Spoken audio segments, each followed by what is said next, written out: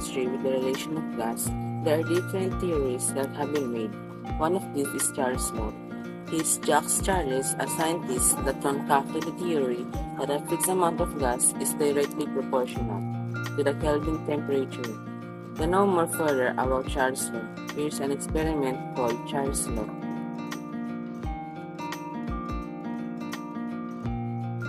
Materials Rubber balloon, tap water, hot water, ice, thermometer, three bakers as alternative use casserole.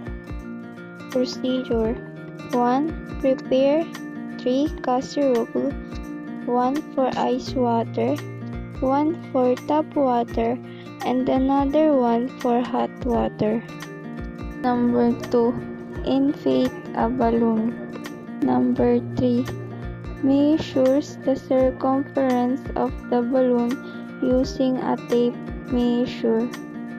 Number 4. Get the temperature reading of the hot water. Number 5. Put the balloon in hot water for 2 minutes then measure again its circumference. Number 6.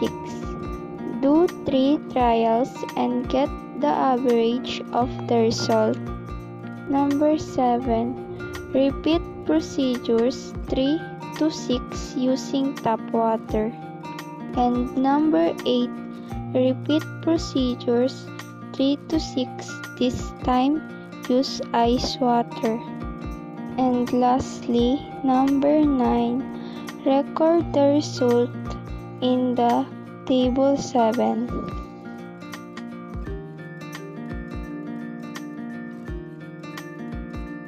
To know more further, it can hypothesize that as the temperature decreases, the size of the balloon is slowly getting smaller and smaller.